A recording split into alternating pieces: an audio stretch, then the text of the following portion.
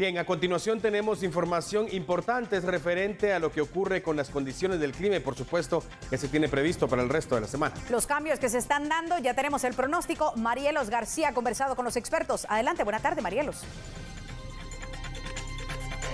compañeros televidentes de TN Todo Noticias, en efecto, y es que continuamos hablando de lo que es el clima y es que en nuestro país pues ya hemos empezado a sentir estas altas temperaturas que ya han dado inicio a lo que es la temporada de calor. Sin embargo, esta transición que se ha venido hablando se da específicamente el día de mañana, 20 de marzo. Este año pues se ha caído en esta fecha, 20 de marzo, lo que es el equinoccio de primavera. Por ello, el sol pues estará pegando directamente a la tierra pero es el experto César George de pronósticos en Cibume quien nos comenta más al respecto de este fenómeno natural que se da todos los años. Sí, muy buenas tardes, es un gusto poderles saludar. Bueno, como usted bien lo indicaba, el día de mañana 20 de marzo, aproximadamente a las 3 de la tarde con 59 minutos, tenemos este cambio de lo que era la época fría a lo que es la primavera de este año. Por lo tanto, la radiación solar es mayor, es algo que normalmente se presenta todos los años. Las temperaturas tienden a ser más altas para el mes de abril hasta que se inicie la lluvia en el mes de mayo. Este equinoccio de primavera con consiste en que prácticamente los días son más largos, el sol empieza a salir más temprano y se oculta más tarde, por lo tanto los días son más largos y las noches bastante cortas.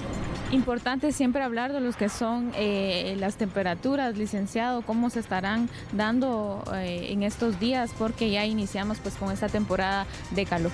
Bueno, tenemos que tener mucha precaución, especialmente en la parte oriental del país y la franja transversal del norte, ya que es normal que durante el mes de abril y parte del mes de mayo se presenten temperaturas altas en el orden de los 39 a 41 grados Celsius. Lo que es el departamento del Petén, experimentamos temperaturas de 38 a 40 grados. La meseta central que incluye la ciudad capital, podemos experimentar temperaturas desde los 29 a los 32 grados Celsius y la costa del sur del país con temperaturas que pueden oscilar entre los 35 hasta 38 grados.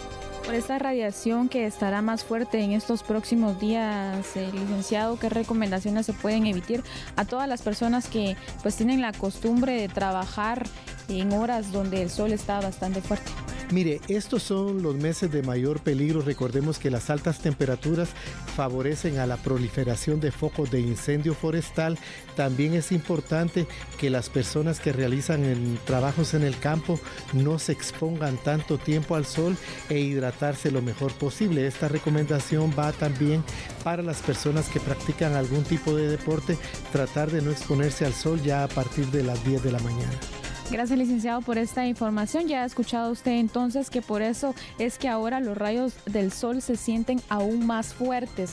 Por lo tanto, es necesario acatar estas recomendaciones que siempre nos brindan las entidades de salud y también en este caso, pues, Insibume para evitar enfermedades tanto en los ojos como en la piel. Tener pues siempre a la mano todo ese kit, lo que es eh, el filtro solar, una sombría, poder pues eh, evitar las horas prolongadas a esta hora de la tarde donde se da mayor, pues eh, los rayos de violeta están con mayor intensidad. Compañeros, es mi reporte, con ello retorno con ustedes al estudio principal. Es importante definitivamente tener información certera acerca de lo que está ocurriendo eh, de acuerdo a las condiciones del clima en nuestro país y lo que se viene. Mañana una fecha importante, entonces ya lo escuchó usted. Y sobre todo también las recomendaciones porque hay que empezar a usar ya protección solar. Los expertos recomiendan factor 50 como máxima protección.